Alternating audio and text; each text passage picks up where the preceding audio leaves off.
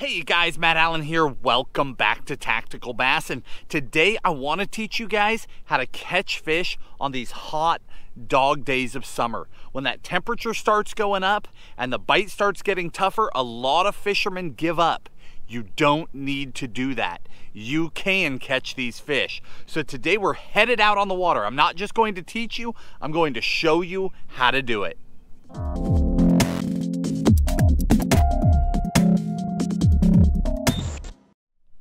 Now, a few weeks ago, Tim did a great video about summertime fishing. He walked you through the different baits he likes to throw, and he talked about the importance of shadows. That's something we've talked about a lot in recent months, and that's exactly what we're going to go out and target today. So in the summertime, low light is key. Catching fish early and late in the day is key. You know that. If you want to catch a fish, get up at first light, go out there. Well, because you already know that, I'm ignoring that part of the day. Obviously, it's not low light. The sun's already beating on me and it is hot out here. Today, we're going to focus on what you do in the middle of the day. If you miss that window, that low light period, what do you do next? We're going power fish and we're not going out here to throw little tiny finesse baits. Let's go see if we can catch a serious bass. Now to kick this off, we're going to start fishing shallow. Today we'll do it with a top water and we'll flip. We're late in the morning, so we may or may not still get on that top water bite. There's a morning top water bite, and then there's a second opportunity midday to throw top water again, and most people miss that. But what I wanna show you is where we're gonna start. See, the sun's up high, there's no shadows out here, but if you look up here along the bank, there's a little tiny shadow right up there against the tules. Same thing if there were trees, if there was brush, if there was anything, it'll cast a shadow right up in the shallows. And a lot of these fish will suck right up in there tight as that sun starts to come up. Now others will go back out and we'll address that in a little bit, but some of them will come right up tight. You can catch them on a top water. If that starts fading, you can catch them flipping. We're gonna throw a creature bait. You could throw a Senko. There's a few different things you could do. Let's see if we can get a bite.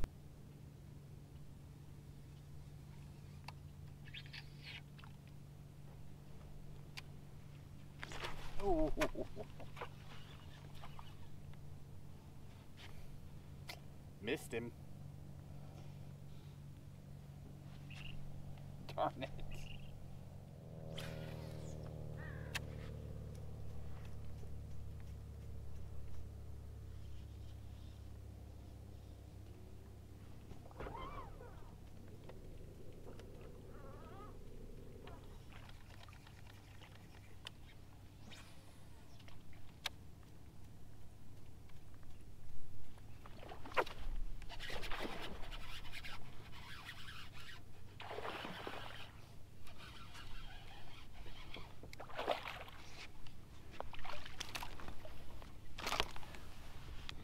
Awesome. Nice fish. Sitting right up against the edge of that, right in the cover. Amazing. It's just, it's clockwork, guys. It's not a guessing game. If you understand the pieces of the puzzle, you can catch fish really consistently. Now, I caught that one on a Spro popping frog. Normally, I like to walk a frog. And I'm still walking this one part of the time. I'm mixing it up, but I wanted the ability to pop because that shadow in front of those tules is so small. You know, I've only got six inches to 18 inches of shadow before I get out to the sun. So I wanted a bait where I could get the most action in that small space. So I set down my typical frog, went to that Spro popping frog just to stay in there to be able to bloop, bloop, let it sit, or to walk it really, really tight and it worked. You can catch fish out here in the summertime. Let's keep moving.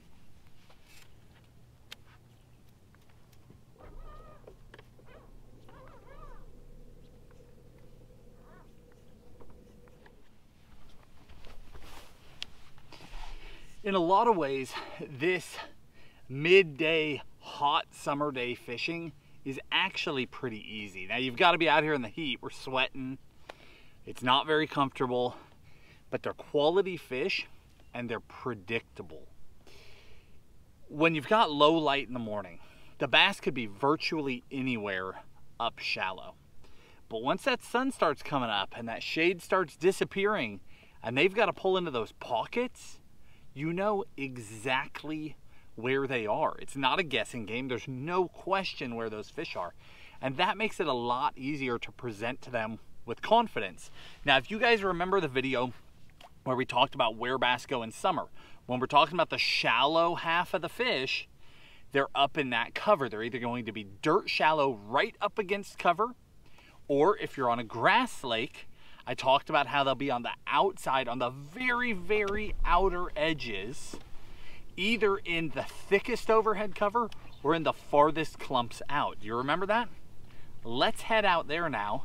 Again, we're gonna throw the top water, we're going to flip, but we're going to catch the other end of the shallow water fish and then we'll start talking about some of those deeper water fish.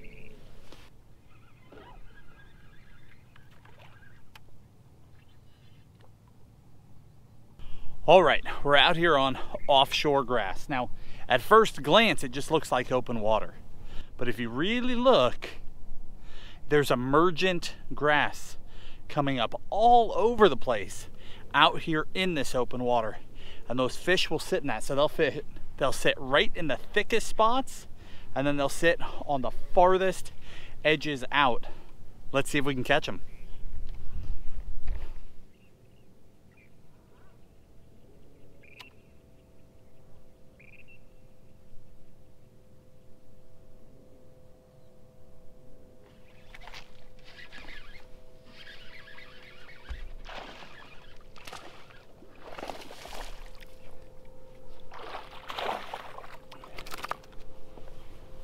awesome. That outside grass. Nice fish. That was actually on a, a rage craw. A one ounce tungsten weight on it. You know, like every video, we'll link you all the gear down in the video description. The exact hook, the bait, the rod. That's that 7-Eleven Extra Heavy X-Pride. It is hands down my favorite flipping stick. They're never in stock. They are in stock right now. Uh, but just a fun way to catch them. Most of you guys know, if you've watched a lot of our videos, that I don't flip with a flipping hook, uh, not a round bend hook. I fish with, or I flip with a wide gap hook. Uh, personal preference, I really enjoy it. So this is a really, really heavy duty wide gap hook. But these fish, are so predictable, guys. I mean, it's hot out here. I'm cooking. I've already had three bottles of water. Uh, but if you're methodical, if you take your time, and if you think it through, it's so predictable. These fish are so catchable. You can catch them all the way, one, you can catch them all the way through the heat of summer, but more importantly, you can catch them all the way through the heat of the day and you can have a lot of fun doing it. Let's see if we can get some more.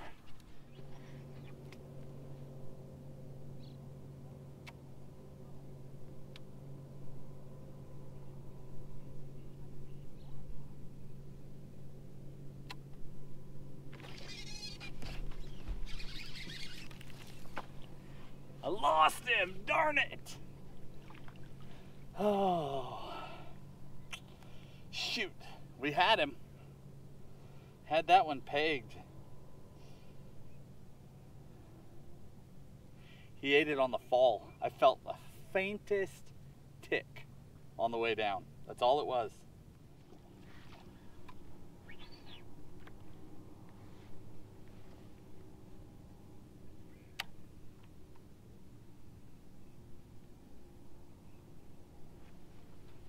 Now what I'm doing when I'm flipping this grass I've told you several times that we're on the outside edge, so it's not shallow. Now, if it was two feet deep, I would do the exact same thing, but this is about nine feet deep. So I'm using a one ounce weight to get down through the grass. I chose a creature bait that will kick, where the claws will move. So I've got good movement on the way down and good movement on the way up. I flip this into the grass, and if it hangs up, I shake it until it wants to fall through.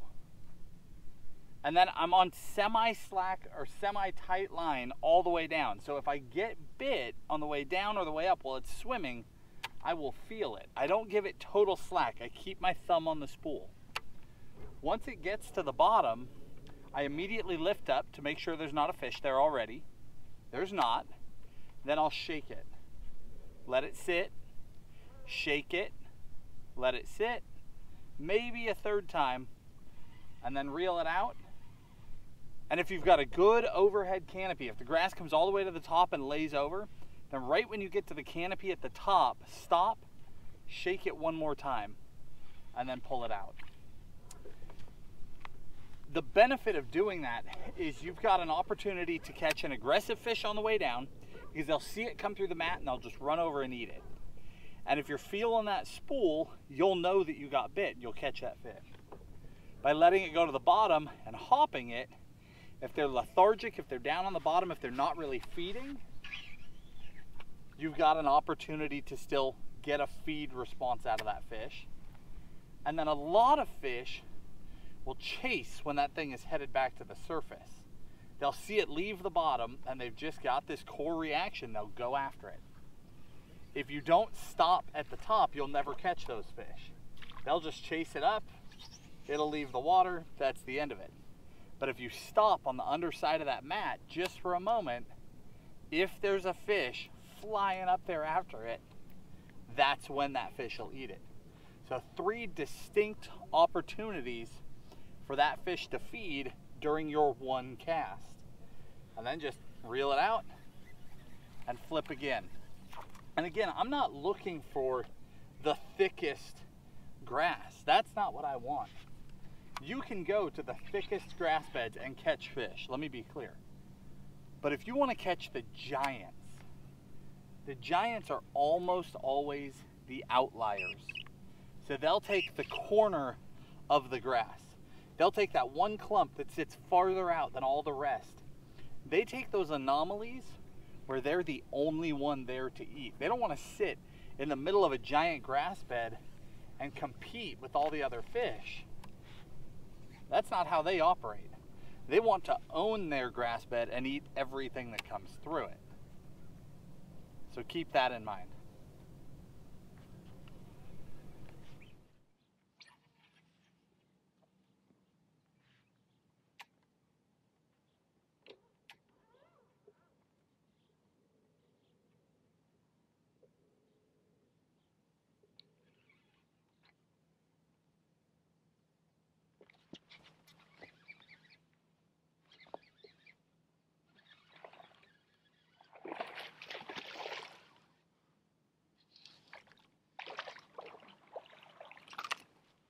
Awesome.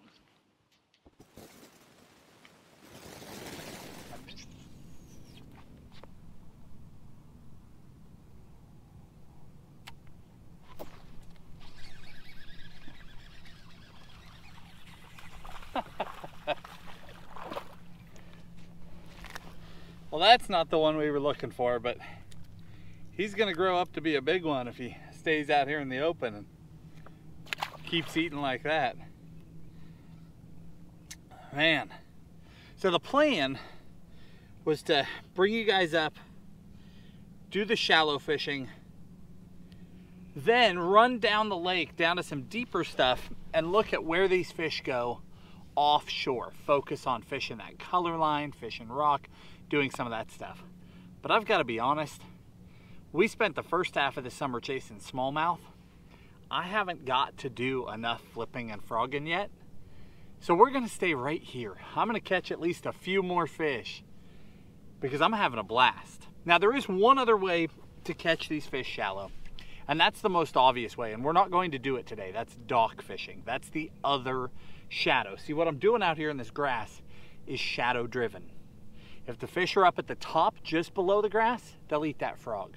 If they're down at the bottom, they'll eat that creature bait, that punch or flip setup but it's shade driven, just like when we were right up against the bank earlier.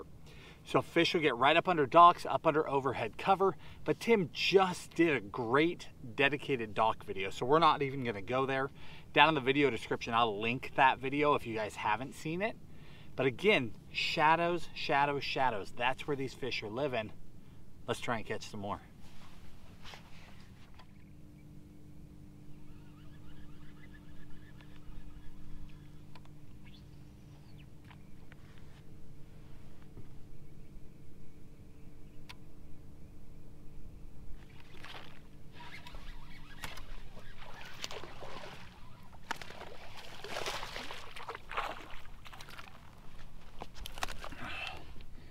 There is something just so rewarding about smashing that hook set on heavy, heavy tackle. Man, that is fun.